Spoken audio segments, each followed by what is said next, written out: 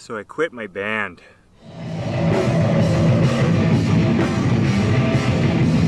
I quit Conniver, something that I used to kind of defined my life, defined myself, defined a lot of things for me.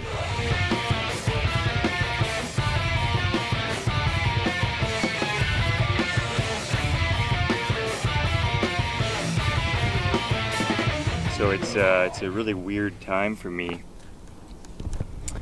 I got too many cameras. I'm in this place right now where I feel, I don't know, I guess uh, remorse, and I guess I'm in a in a bit of mourning. Um, the work that goes into putting on a show.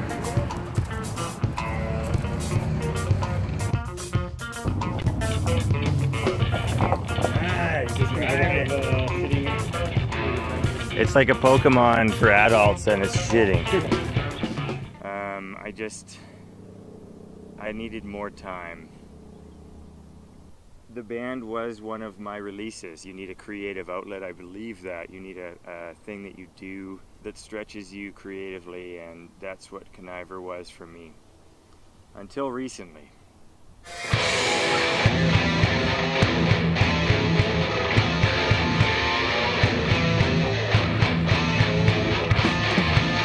I had this block of time that Conniver was taking up.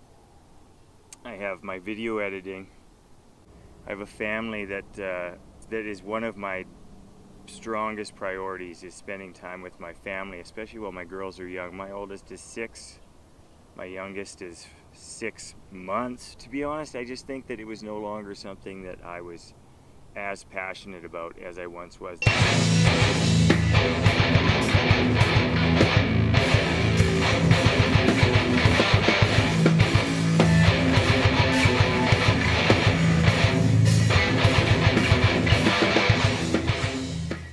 It's a selfish thing to pursue your, your habits that make you happy. It's something that I've struggled with. It's something that the majority of the strife at home has to do with kind of this quest that I'm on to find my true purpose, to do what makes me happy. I believe that it's it's a noble quest, and if you read those top 10 lists of things that people regret in life, pursuing their interests and giving a fuck about what other people think is always the top of the list, man. Don't give as many fucks about what other people think and do what makes you happy. That's what I'm doing. But it's not easy, and everyone wants you to stop.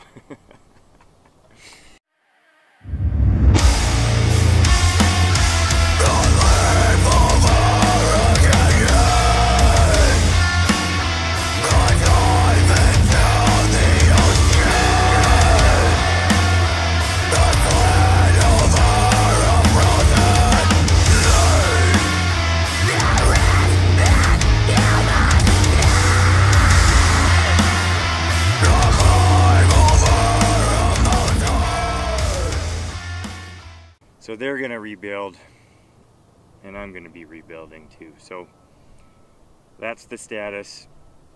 I love you guys, and uh, nothing but nothing but love sending your way. I'm running late, but I did want to say this: if you want to change your life, change your life.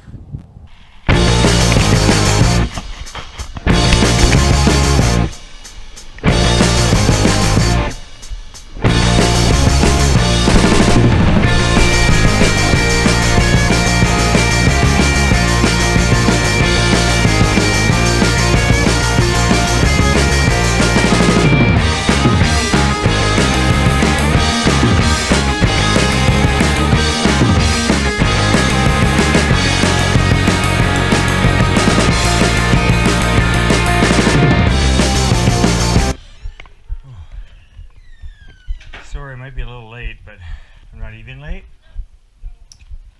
You guys are nice. You guys. Oh, what? Oh, I should have a little relaxation.